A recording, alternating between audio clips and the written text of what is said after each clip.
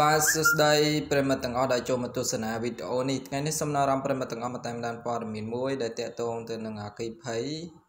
ដែលដោយសារតែការធ្វេសប្រហែសរបស់ម្ចាស់ផ្ទះផ្ទាល់អីព័ត៌មាននេះនៅ ខាងខេត្តបាត់ដំបងប្រិមត្តចង់ដឹងព័ត៌មាននេះយ៉ាងណាមូលហេតុអីបានដែលធ្វើឲ្យឈានទៅដល់ការមានអគិភ័យឆាប់ឆេះ ខ្លាយទៅជាផែបែបនេះតោះចង់ដឹងព័ត៌មាននេះយ៉ាងណាមកតាមដានជាមួយខ្ញុំទាំងអស់គ្នា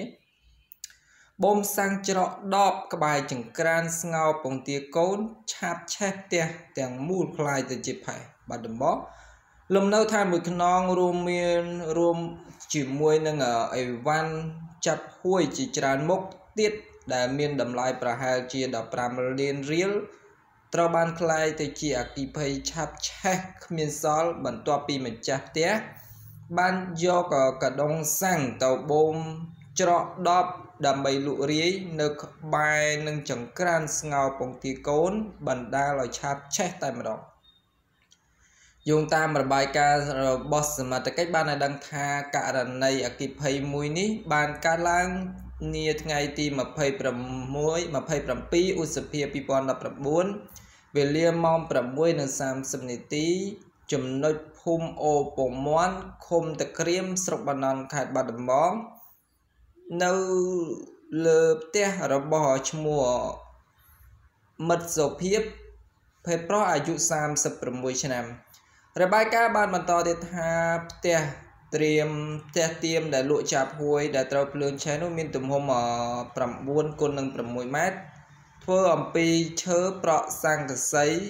ក្នុងនោះក៏មានអីវ៉ាន់គ្រប់ប្រភេទជាមួយនឹងប៊ីដុងសាំងជាច្រើនផងដែរប្រពន្ធបានបញ្ជាក់ទៀតថា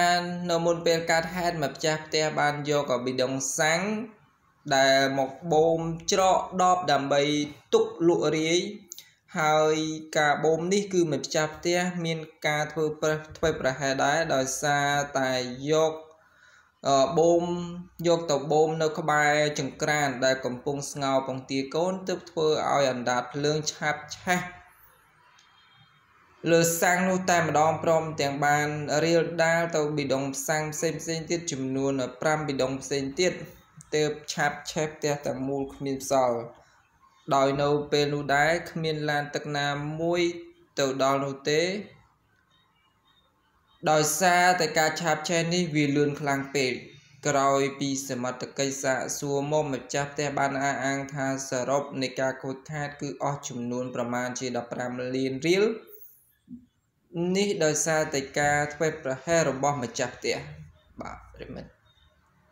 ចឹងប្រិមិត្តអ្នកដែលលក់ឆាពួយលក់អីហ្នឹងមើលបូមសាំងលក់សាំងរីអីហ្នឹងគួរតែប្រុងប្រយ័ត្នមែនតើពីព្រោះថាភ្លើងនឹងសាំងវាបណ្ដាលឲ្យឆាប់ឆេះលឿនណាប្រិមិត្តហ្នឹងហើយនៅប្រិមត្តយល់យ៉ាងណាដែរចំពោះព័ត៌មានមួយនេះបើសិនជាចូលចិត្តសូមជួយ Subscribe នៅ Channel យើងខ្ញុំផងដើម្បីទទួលបានព័ត៌មានជាប្រចាំតែម្ដងអរគុណជម្រាបលាជួបគ្នានៅវីដេអូក្រោយៗទៀត